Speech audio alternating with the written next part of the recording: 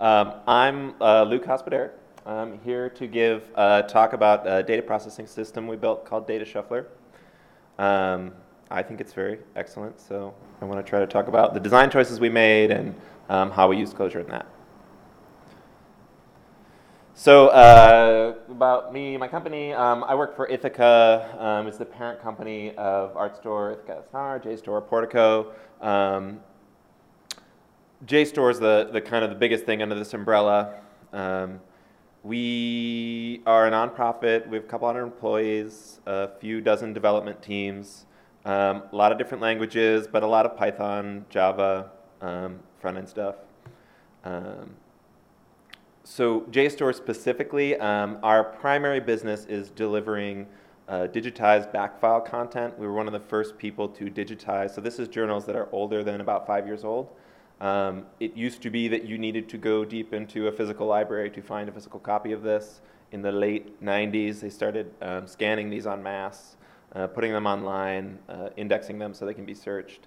Um, and and our, our mission is to expand access to academic content in general. So we also have um, academic monograph books, uh, large kind of free-form research reports, other things like that. Um, in terms of our uh, magnitude, um, we'll deliver up to over 20 million PDFs on a busy day in November. Um, we, we have a primary log fire hose that, that, that describes all of that activity, a lot of backend activity, a lot of other activity that, that depending on what's going on today, um, we'll have tens or over 100 million events per day. And, and so my team is the data platform team. Um, and, and our job is to help the organization make something useful out of that fire hose, primarily for business analytics and other things like that. Um, so what I want to cover today is what is Data Shuffler, what, what's the context that we built it in, um, what are we trying to solve with this, and, and, pretty explicitly, what are we not trying to solve? I think the, the, the limitations and, and the problems we decided not to solve are, are just as important or more important than what, what we wanted to solve. Um, and, and, and we'll talk about why we chose Clojure. I want to talk about spec. I want to talk about polymorphism a little bit. Um, so uh, this is like a kindergarten picture of our data chef, our data pipeline. I'm sure it will look very familiar to you. There's a bunch of apps. They run on Java or whatever. They produce JSON event data into a Kafka topic. Um, we persist that to Amazon S3. Um, we process this with this legacy ETL system we have. Other people use that for other stuff. Um, the, the part of this that's really important here is, is that we have this single Kafka topic that contains all significant event data across our entire system. Um, and we have very little requirements on what you need to do to participate in this. There are like, you must set five fields. Um, you need to set a timestamp. You need to set an event type. You need to set where it came from. Um, a couple other things, a unique ID, but that's about it. And then you can put whatever else in there that you want. Um, and, and so most of those events are kind of qualified by their type. Um, and, and that's really given us a lot of power to quickly ingest new data into the system and, and apply new processes to that. Um, our, our, the, this, this graph is the number of distinct event types per month since um, late 2016. And, and this is just to demonstrate that um, the complexity of the data that we need to handle is constantly growing. Um, we, we can't have a predefined set of events that is static. Um, it is constantly growing. People are constantly adding new events to this pipeline. Um, so I want to kind of talk just so you have some historical context. Um, our ETL system used to look like I suspect many people's ETL systems look like. Um, we had a bunch of Spark jobs that were written to transform certain kinds of events into certain tables because some business person asked us to make a table. And, and this is stuff like, hey, can you make me a table that shows who downloaded which PDFs every day? Sure, I've got those events. I'll write a Spark job, filter, map, whatever, make a table. Um, we had those jacked into a work, workflow manager. Um, it's, it, the, the whole kind of problem with this is it's very process oriented. It's about like, there's a job and it loads some data. And I logically know that, that the purpose of that job is to make a table, but that job could do anything it wants. It could make arbitrary HTTP requests in the middle for fun, and, and maybe those are important and maybe they're not, and it's unclear. And um, it's really hard to reason about the system from the ways that people care about. People care about the tables that get made. Um, they care about answering business questions with this analytics data that we produce. They don't really care that a Python job made it. Um, so this was kind of a mess, and it was kind of hard to maintain, and it was pretty brittle. And, and um, uh, what, I, what we wanted to do was, was to be able to support this kind of rapid explosion of, of new data coming into the system all the time because the system's constantly changing. Um, we need to be able to create new data sets that describe those things just as fast as we're creating those things. Um, and, and so that's like the organization level goal. And then, you know, my team, our goal is to make that plumbing work right and make it maintainable. And it's not sustainable for us to understand everyone's business need and to be able to comprehend 400 different kinds of events and several hundred different tables that we need to be produced. We have like four people on our team. That's just not going to happen.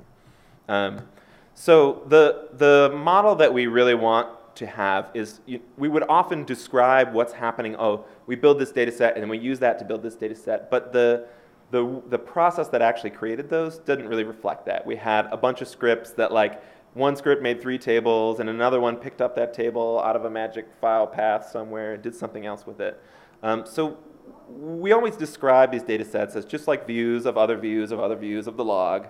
And, and what we really wanted was a system that would allow us to actually describe the things formally the same way that we describe them informally. That, that the whiteboard di- diagram that I draw is like the same as the diagram that the system actually understands. Um, I, nobody cares too much about the physical location or format of anything. That's sort of important on the edges where like a business person needs to connect Tableau to something, so it needs to be in a database. But beyond, you know, backward from that, nobody really cares. It's just some abstract data. And the only reason that we might actually make a physical copy is for performance reasons. Um, so I want to make those kind of things really easy to deal with and really easy to change and really get that out of people's way. Um, and, and I also don't really care about how the data is constructed at all. Um, I want to describe the table that I want. I don't want to describe how to make that table. Um,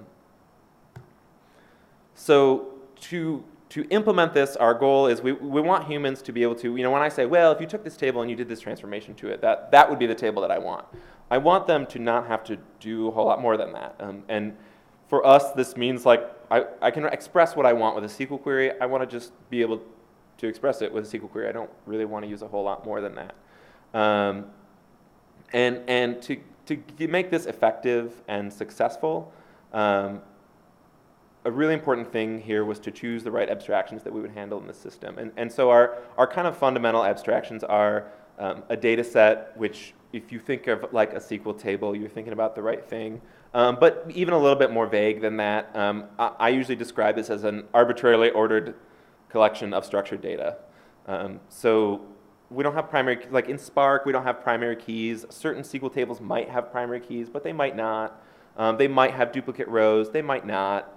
Um, they might come out in an order, they might not. Um, but they have, it's like a bag of rows. Um, and, and then we have transforms that do stuff to those and restructure them and, and do kind of classical relational operations on them, join them together, project data out of them, um, do operations on that data. So it seems obvious to me, seemed obvious to me that, that the right way to approach this problem was in a declarative way. Um, work for Kubernetes, it must be good enough for me. Oh, and SQL too. Um, so it's all about uh, giving us the power to, to implement that model that we really wanted, which was to describe my end goal instead of describing the process that produces my end goal. Um, because then, as, as a system designer, I can implement whatever it takes to reach that end goal. And if I need to completely change that implementation, I don't need to also refactor all of this business logic. So um, this is a perfect fit for SQL, which is also declarative. Um, we decided to express all of our actual transformations as SQL because it's not perfect, but pretty much everyone in the world understands it. Um, it's really easy to hire people who know how to do it. It's pretty straightforward for a human to read and, and kind of reason their way through it.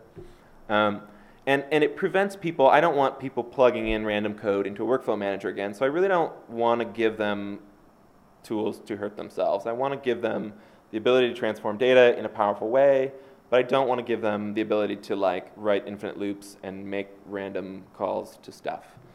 Um, so we have a lot of experience using Apache Spark. That's what our old system's based on. It's pretty good at like pushing big blobs of data around. So we decided to go with that. It seemed very practical. Um, it was important that we be able to, that users be able to specify what they want in a declarative way that, that is actually correct and executable, that we can give them quick feedback that like this is probably going to do something and work and not just blow up in the middle of the night. Um, we need uh, an, an, executor that can actually, because in, in the real world, we actually need to start up clusters and do stuff and move data around and cause side effects. Um, so we needed to be able to implement an executor for this declarative system that um, would actually work and, and would be extensible so that when as, as we have new needs and we need to support a new kind of database or something like that, um, that, that we would be able to do that. So, and, and critically, and testing really kind of falls out from this being declarative in the first place, but our old system, the, the actual business logic was very poorly tested, if at all. And I think this is a really common problem with ETL, and I'm going to talk more about that. But um, so in terms of driving Spark with, with Clojure, um, generally speaking, I have no problem doing that. It's all in the JVM. It works pretty smoothly. Um, there are some kind of wrappers around Spark, and we use those a little bit, but we really call back to directly to the Spark Java APIs directly a lot, and, and that's not particularly problematic for us. Um, so we don't express, as I mentioned, all of our transformations are ex expressed in Spark SQL queries that are stored in a big data structure. And um, so we don't use like the Spark dataset API pretty much at all for anything specific. We do, all of the actual code is all fully generic and is just applying these transforms that come um, from somewhere else. Um, so to, to really make this happen, Clojure Spec was really kind of the killer feature that, that let us do this really well. Um, because we, what we sort of wanted was, was kind of a DSL, for a, a, config file DSL format for expressing this giant stack of transforms. But I didn't really want to write a DSL parser, and I didn't really want a DSL. I want a data structure that I can manipulate. Um, so using Clojure Spec is awesome because it, it really let us validate the hell out of this thing and know that it was as correct as we can know before we execute it, and, and it's know that people ha don't have missing links and inputs that don't exist and um, stuff like that.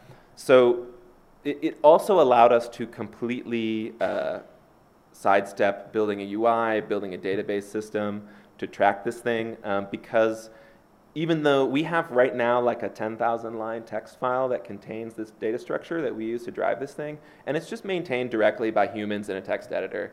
And because of the kind of error message we're getting, they're able to do that, and, and we haven't had to like build a big giant system to manage that. And we can just use Git to do version control and rollbacks and branching and development, um, just like we would do with any other code, which has been really excellent um, because it, it's allowing us to get these really powerful features quickly without having to build a lot of sugar around it so that people are actually able to use them. Um, I think we're probably kind of abusing spec a little bit. Um, we have crammed in a ton of like super powerful um, validation predicates into spec um, that I think it's not really you know geared toward doing. Like like this this data structure represents kind of a, a graph of views that are constructed of other views that are constructed of other views. And one of the things I need to know is like, are there any cycles in this graph? Because that's not going to work. Um, and so we have like predicated checks for that and, and tries to return expressive error messages. And like some stuff doesn't work great. So um, we don't use spec to conform this data structure. We designed it to look exactly like we want. It's really easy to handle. Um, we've just never, it's never really come up. Um, we also don't use specs built-in generators pretty much at all because um, the, the structure of this is so complex and it depends so much on external data. You can't like generate a random JDBC URL and then expect that to be useful for any kind of testing. Um, so ultimately, we do a lot of property-based testing to verify that the low-level components of the system work well, do what they're supposed to do, um, have predictable properties. Um, but we don't really take advantage of the spec generators at all. Um, there's some things I don't love about it, and I'm really great. Rich gave his talk yesterday because he felt like it really resonated with me, but um, it, it's a little awkward to write, like I said, to write these really complex validators that kind of go outside the box of just like this field is required and it's not null. Um, you can stuff any predicate in there and you want, and that's cool, but like we have 300 transformations and they all specify inputs, and those inputs are keywords which refer to another transformation. and so we have a validation um, that checks to make sure that those keywords actually refer to another thing. Um, and if we just put that in a predicate, it would not be very helpful to get an error that says like some inputs are wrong. Enjoy somewhere in this 10,000 line text file, there's one keyword that is you put a typo in, and I don't know where. Um, so, so we ended up writing some macros to help produce better error messages directly.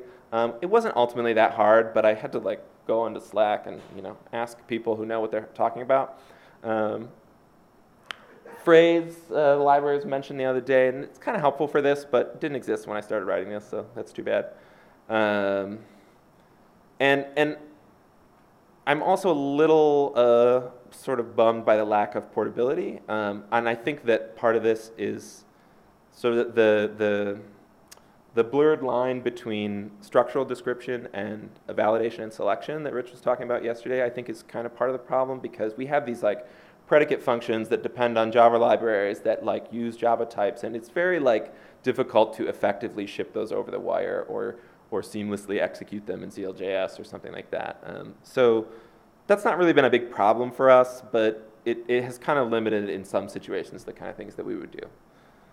Um, so this is a um, uh, kind of a diagram of our spec, and I, I want to talk about this a lot because for us, a really awesome thing about using spec has been the ability to just kind of endlessly compose specs on top of each other, on top of each other, on top of each other.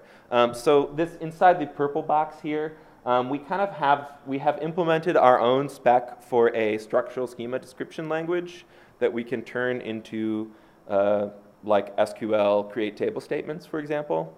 Um, and we've also implemented our own declarative predicate syntax that's like a SQL where clause to, um, because a big thing we need to do is take this very kind of unstructured fire hose of JSON data and apply structure to it and filter out things that like are probably actually supposed to be there.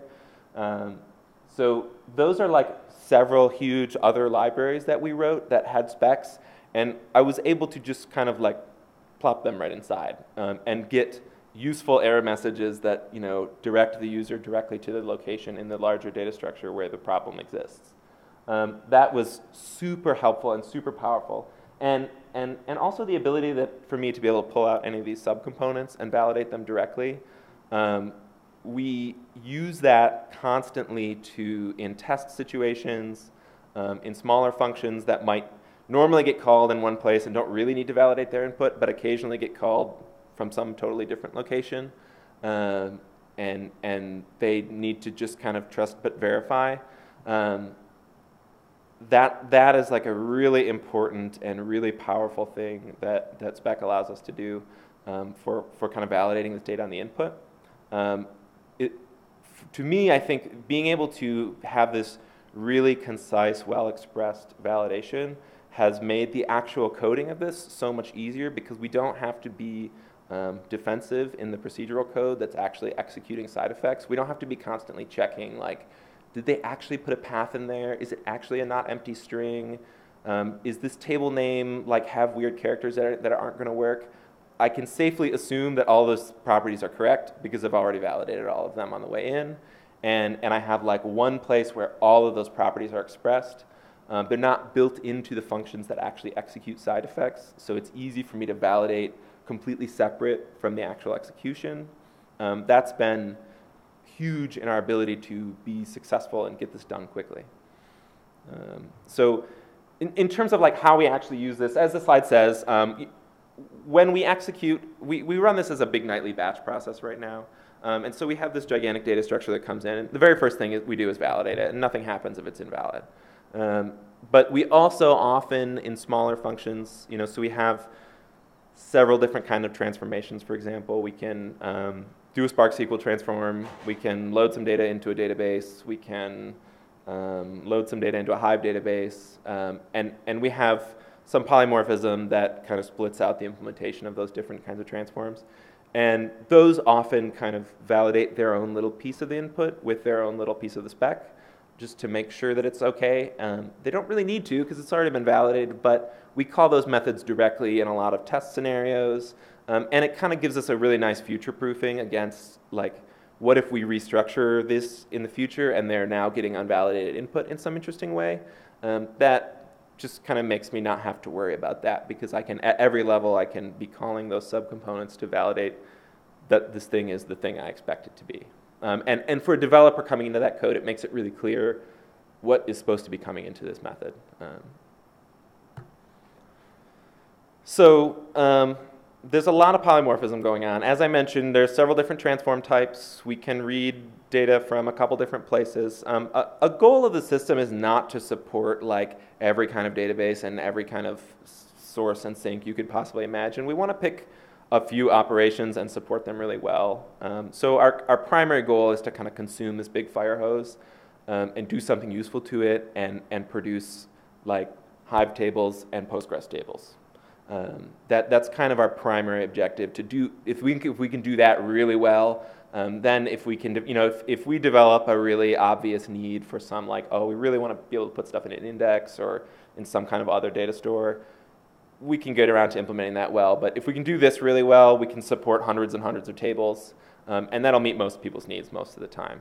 Um, so we don't need like this kind of unlimited extensibility that's really fast and really easy. Um, but, but we need, as, as maintainers of this system, we need the ability to add stuff on.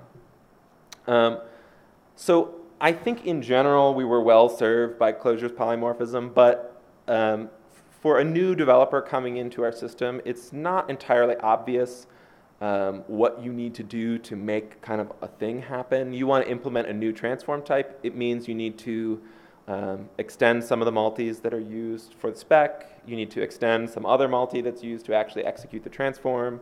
Um, you need to extend a couple records in a couple places to um, describe those data frames as they move throughout the system. So um, ultimately, not hard, pretty nice, pretty expressive, but um, and it does let you kind of pick and choose, but it can be difficult to kind of know where you need to go and navigate around that system.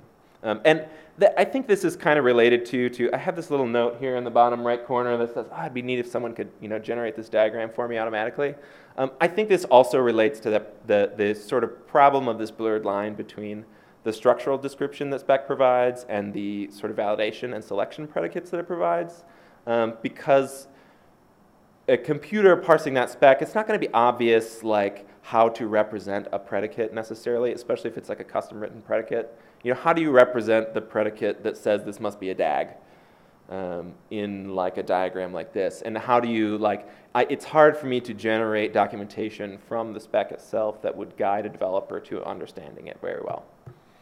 Um, so testing. Um, testing is critical for us because as I mentioned, we've got hundreds of tables. Um, most tables are compositions of potentially dozens of other tables. Um, and by the time you get to the final product, you might have dozens of SQL queries um, that, that do lots of stuff, and they do lots of interesting side effects. And um, our old ETL system was really not tested, I think.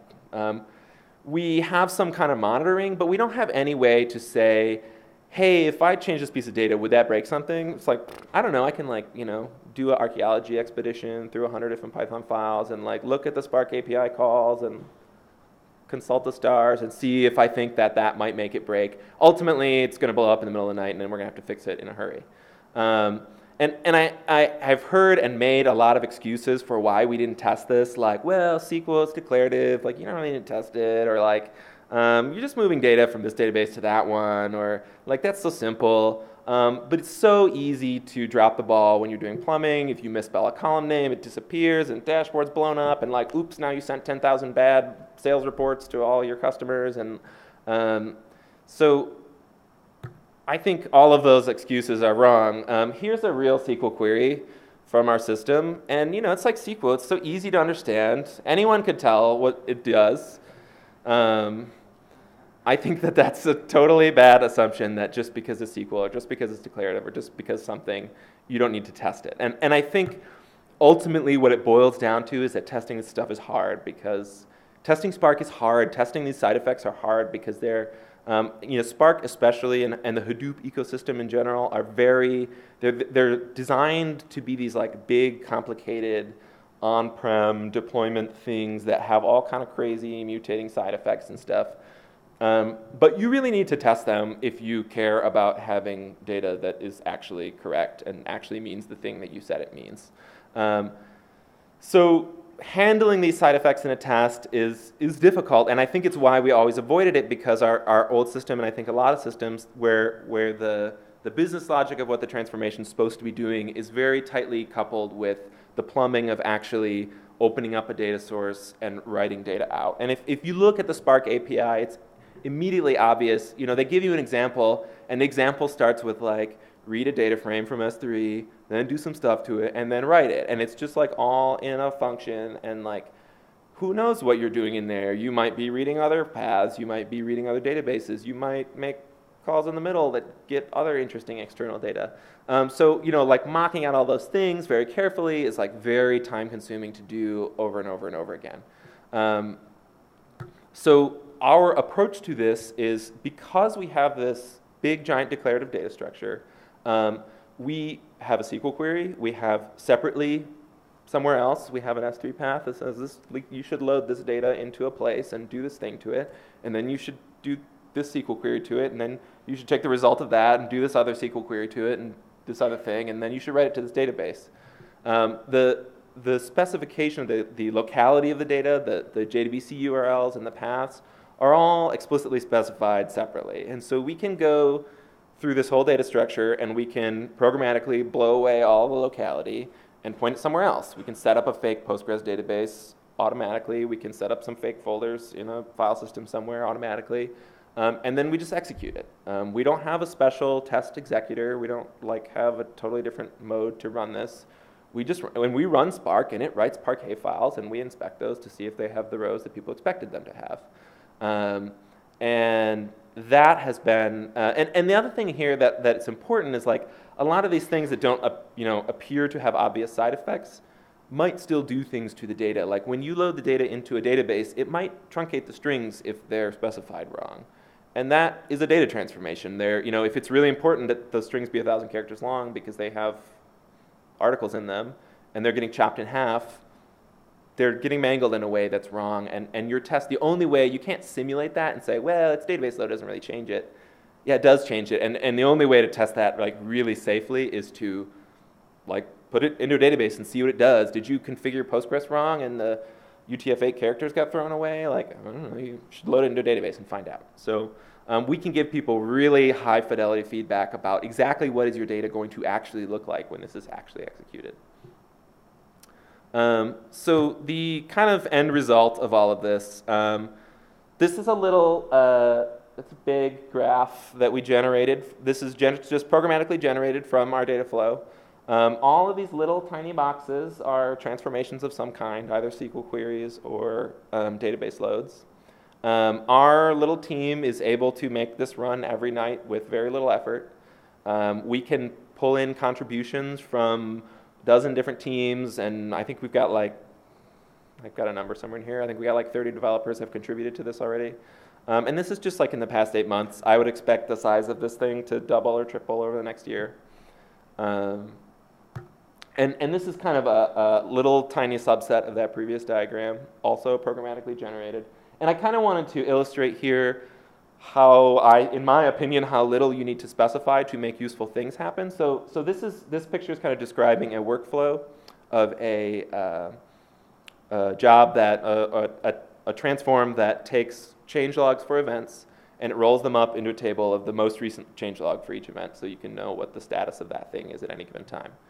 Um, and you know, on, on the front end, we describe what those things look like structurally, and we put all the raw events into a table. And then we pull them back out of that table and we roll them up into another table that contains only the most recent event. And then we merge that because they didn't start logging change logs and they had some bugs where sometimes certain changes didn't get logged correctly. So we take that and we merge in another table that just has a seed value for every single account just in case there was no change log for that. Um, and then we publish that to another table. And, and these little snippets of EDN are the snippets that are used to render these boxes. So the box is just like a boxified format of those EDN snippets. There's not really a lot of magic going on there. Um, in terms of like increase in productivity from doing this, Um, our, our old system of these kind of bespoke Python scripts that had to be kind of manually validated every time, the only really way to validate them was to actually run them in prod. Um, in about four years, I think about 10 people committed to that repo, um, and we made about 200 data sets. And when I say data set here, I mean like um, a table that someone can actually use to do something. Um, and, and it took weeks to actually roll something out. This process takes several hours. It runs nightly. It runs every night, so you have to test it in between the time that it's running. Um, and when it blows up, you have to fix it. It's very expensive. Um, so um, taking this new approach, uh, we've been able to, in about eight months, pull in three times as many committers, um, build about three times more data sets per capita, um, and, and the time to roll out a new data set is, is dramatically reduced. Um, I think our CI pipeline is depressingly slow right now, but it takes about 45 minutes instead of like 12 hours. So great, huge improvement. And, and we can run 30 of them at once. So, in conclusion, um, you should use Clojure Spec. Uh, I, I think it, there are some conceptual things about it that I don't totally love, but in terms of describing, concisely describing validation logic for data structures that are coming into your system, it is so incredibly useful. Um, and, and the composability of it um, makes it so I can you know, distribute that work among four different team members and, and pull it all together. And, and if I want to write a new thing that contains a data flow, I just reference that and it just works and it's great. Um, I think our implementation of some of the, the polymorphism inside the system is not necessarily ideal. Um, I think that's really just about being thoughtful about it and, and co-locating stuff where that makes sense. Um, and, and ultimately, I think you just have to document that really well about kind of translating human intent to like what structures do you actually need to implement. Um, you should also shut anyone up who tells you that they don't need to test their SQL queries because they're SQL queries. That's lazy, um, in my opinion. Um, and if you want to talk more about it, come talk to me about it. We are, no promises. I really want to open source it, but there's some work to be done there. So um, let me know if you're interested because it'll help me make a case to my boss. Uh, yeah, thanks.